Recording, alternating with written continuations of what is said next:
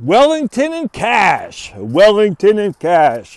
Hi ho the dairy yo, Wellington and Cash.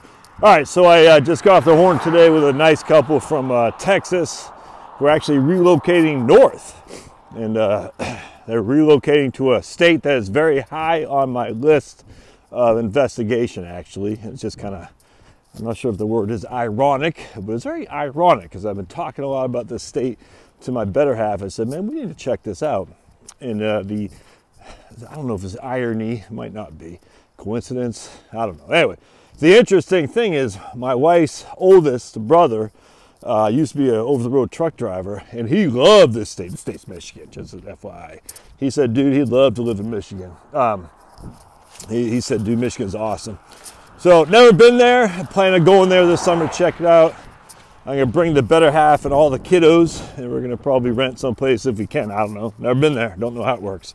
And go check out Lake Michigan. The idea that Michigan has beaches and sandy beaches with sandy bottoms. Uh, I look, man. I'm a doubting Thomas. I don't believe it. I see the pictures. I see the YouTube videos until I see it my own very eyes, I'm gonna doubt it. You know what I'm saying? Just like Thomas, St. Thomas with Jesus. Until he touches the uh, where Jesus was stabbed, he didn't believe. I don't either, man. Because look, I'm from Maine. Sebago Lake, probably the biggest lake in southern Maine, and there's not sandy beach. I mean, I guess there's a couple of sandy beaches, but they're not much. And there's certainly the bottom isn't sandy. It's uh, it's weeds and moss and stuff. Ugh, creepy. And I lived on an island, and our sandy beach wasn't sandy. It was, you know, rocks. So I'll believe it when I see it. But anyway, so these people looking at Michigan uh, to retire. And uh, the interesting thing was this guy had, he put his 401k in cash. It was about 200,000, 250,000 bucks or so. Uh, their house had already sold, so it's like, you know, 300,000, some of that sitting in cash and they're like, and they're paying a guy a fee. I said, look, you can do whatever you want.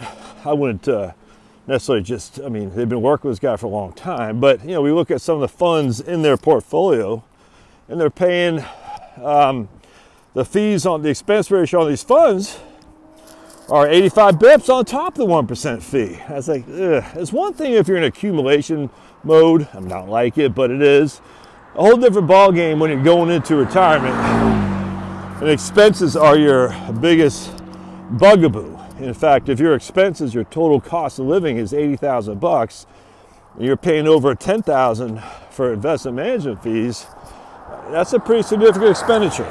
Um, might want to think otherwise. So, you know, they ask me, what do you, what do I think? And I don't tell people what they should do.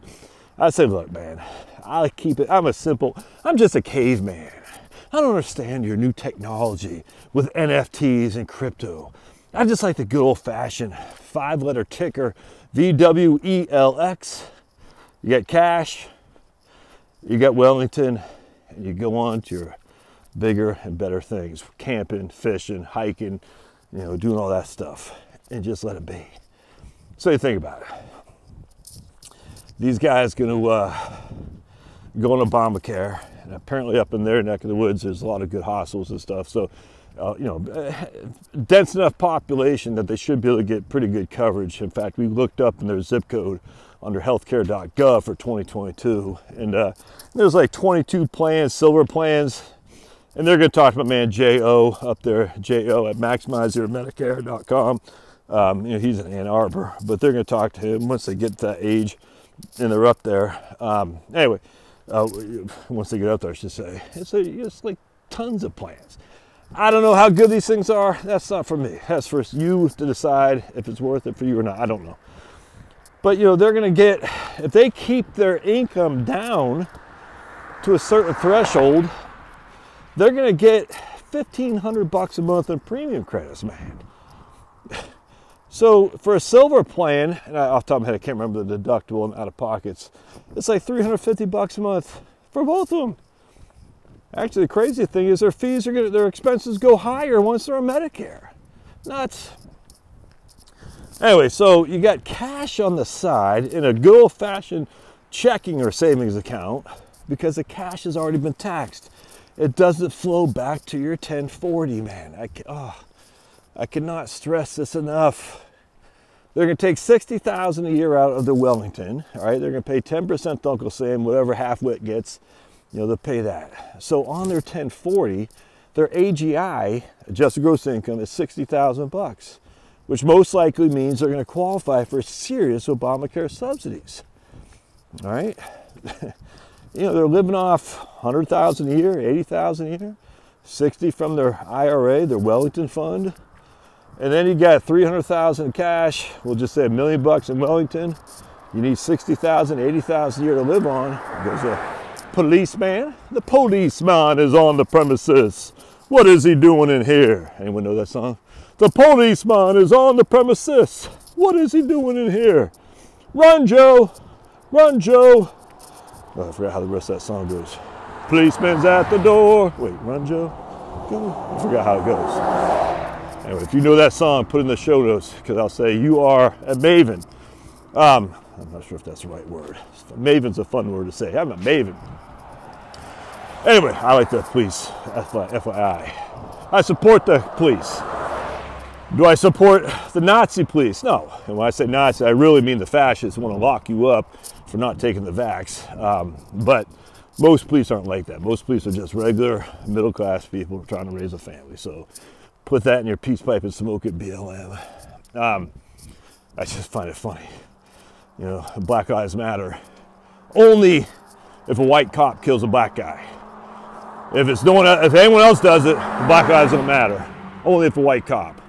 If it's not a white cop, eh, that black life didn't matter as much apparently. Freaking nuts, man. It still pisses me off to this day.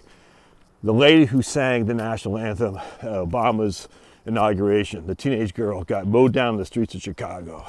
No one gives a rat's behind about her, and yet George Floyd is made a martyr. And the whole thing is freaking insane. And you all who support this can kiss my big fat white behind because you're not Black Lives Matter. You're political. That's all you are. You're political hacks. And it freaking ticks me off, man. The girl who sang at Obama's inauguration was mowed down in the streets in Chicago. I, I, no one cares. No one cares. But George Floyd, we're gonna put statues of that guy. Uh, it's, it's nuts to me. We're living in an upside down world. All right, so back to the issue here. The, uh, you got to get out of this Babylon, my friends. You know, you don't have to leave it specifically. You got to get your mindset out of it. Recognize that Babylon is run by evil fools. Recognize that it's trying to pull you in with hatred and try to make look. The devil doesn't give two craps what side of the fence you're on. He doesn't. He just wants you at odds. And the way to say, you know something, I'm moving. I'm getting out of Babylon. You know, obviously, physically it's important, and we'll be doing that at some point. Um, but mainly, it's in your mentality, your mindset. Yeah, it's okay to get angry. Heck, Jesus got angry. But you can't live your life as if, you know, if you voted harder, that will make a difference. It won't. It won't, man. Babylon is evil. It's in control of the world. It's not that we don't know this, we do.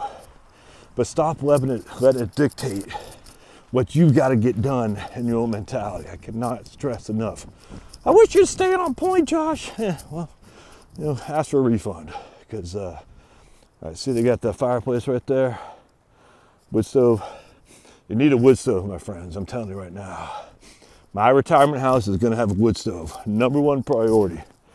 You know, I have a heat pump maybe. I don't really want a heat pump, but I'm going to have a wood stove. Backup heat.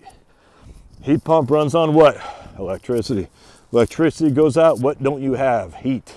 How are you going to heat your house without a wood stove? Uh, on a battery array? Are you crazy? on your solar panels? You freaking nuts? On your wind turbines? You crazy? Nah. You don't heat your house with that kind of stuff, dude. You heat your house with good old fashioned coal, kerosene, propane, or firewood. You need to have a plan of action to heat your home when the electricity goes out. But heat pumps are cost effective. Yeah, you know, tell them about cost effective when you're freezing to death because the power's out. All right, so let's keep going. All right, so these guys, So the guy asked, hey, when should I take my money out mechanically? I said, dude, just once a year. On the 1st of January, it doesn't have to be that day, but you get it. You call Vanguard, Vanguard send me distribution. Okay, sir, you want that net or gross? I want it gross. Take 60,000 out of Wellington, my IRA, give 10% to Sniffy Joe, and I don't I wouldn't send anything to half wit just because a lot of firms they don't have it set up where they can withhold state taxes. The Vanguard didn't you couldn't do it for a number of states. I don't know if you can now, but when I was there, a lot of states they couldn't withhold anyway. So, you know, tell half wit she'll wait her turn. But you send 10% to Sniffy Joe. All right, so 60,000 bucks minus 10%, 54,000 goes into your checking account. You spend that down when you run out of money, which probably be around September you spend the rest from your regular checking account. Then come the 1st of January, you do it again. So you're at 60,000 as AGI. It gives you a little bit of wiggle room in case you need to go up, you know, because we don't want you to go above that $75,000 corridor, but gives you a little bit of wiggle room. And so that way, if you do need to take more money out, you can without violating Obamacare threshold. And remember, I, I think there's still the, there's no cliff in 2022 for Obamacare premiums uh, tax credits, APTC, accelerated premium tax credits. I don't know what they'll be like in next year or the year after. I just don't know. So either way, we have uh, accelerated premium tax credits. You keep your income below that certain level, you get those, and then uh, and then if you only take sixty thousand on the front end, you you'll be able to see come September, October, November. If you need more money, uh, you have some wiggle room. Ideally, you have enough in your savings account to complement or supplement the amount of money you've taken out from your IRA to see you through for the rest of the year. And then you get the APTCs, you know, and you're good, you're freaking golden, man. So think about it. These guys are to spend 18,000 a year without the APTCs, 10,000 a year on investment management. All right, that's 28,000 a year. They're only spending 100,000 a year or something like that a quarter of their income would go to fees and healthcare. Reduce your fees. You can go a lot longer in your portfolio if your fees are reduced. So now they got, you know, instead of spending 100,000 bucks a year, of which 28,000 would go to fees and healthcare, they're spending 72,000 a year. Does that make sense? Never mind, the taxes are now way lower as well. So instead of having to generate 100,000 a year and then they got to pay tax on that money, it'd be an effective tax rate of 11%, $11,000 in taxes on 60, 70, 80,000 a year, but their AGI, because most it's coming from cash, it's going to be almost nothing. Well, I should say their taxable income. So they got cash, they have 60,000 from their portfolio. All right, so we take 60,000. They're not 65, so their standard deduction, just for simplicity, will be 25,000 bucks. So their taxable income, my friends, is 35,000 bucks. Uh, I can't remember where the 12% tax bracket kicks in, but either way, at most, at most, their, ta- their taxes to the federal government would be what 3,500 bucks at most. I mean, maybe 4,000 bucks a $60,000 distribution. Can't shake a stick at that, my man. Wellington and cash. But Josh, there's no small caps. Yeah. Josh, there's no international. Yeah. Josh, there's no high yield. Yeah. Josh, there's no crypto. Yeah. I don't care. You got large cap, dividend paying stocks, blue chip stocks, and you got corporate and government bonds. But Josh, if the interest rates go up, those bonds will get killed. Oh, for the love of all that is good, my friends. How many times do I got to debunk this? Yes, when the bond rates go up, bonds go down initially. Look at any bond fund out there. I encourage you to do this. What happens in the second year after the Fed is raising? Just take a guess, man. What happens in the second year? You want to guess? Uh, stop with this. Like, I don't want to be in bonds because the rates go up. I'm like, what, are you going to spend that money? What, what's the problem? I literally don't understand it other than ignorance. And again, ignorance doesn't mean you're stupid, just means you don't know, which is why hopefully you're watching my channel so I can educate you on this stuff. Look at 94, look at 99. See what happened to bonds. Then look what happened the following years. I'm trying to